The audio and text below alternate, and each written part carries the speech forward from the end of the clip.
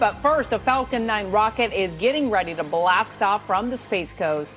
This is News 6 at 4. I'm Lisa Bell. I'm Julie Broughton. And I'm Ginger Gadsden. Here's a live look now from a Space Launch Complex 40. This is at Cape Canaveral Space Force Station. SpaceX is about to send another batch of high-speed Starlink internet satellites into orbit, 56 of them, uh, as a matter of fact. This will be its 21st launch in 2023. They are about 20 seconds out. Let's listen in.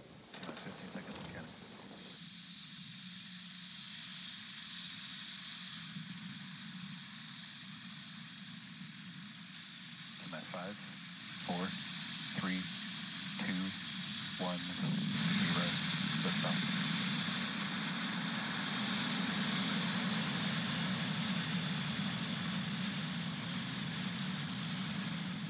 Vehicle is pitching downrange.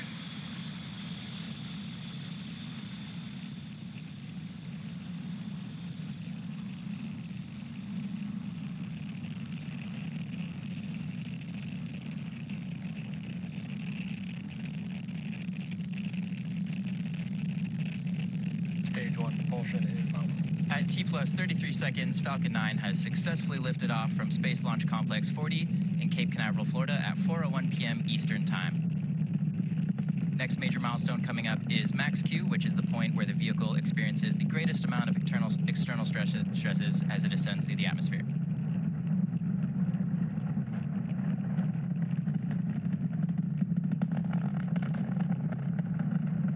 Falcon 9 is supersonic.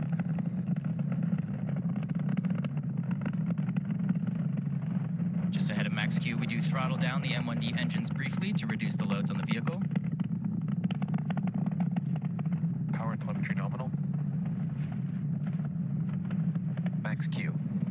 And at this point, we have throttled those Merlin 1D engines back up to full power to continue to boost Okay, you see a successful liftoff, and they plan on landing the boosters, the first stage, back uh, on a drone ship. That usually happens about eight and a half minutes after liftoff, and by all accounts, this is uh, apparently a successful liftoff, certainly a picture perfect one.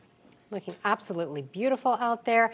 I like the name of the drone ship it'll be landing on. Just read the instructions. Yeah, that, it's, a good thing in life, Right. always, right? So, looking good out there, and we'll continue to keep an eye on it. You can continue to watch it on clickorlando.com.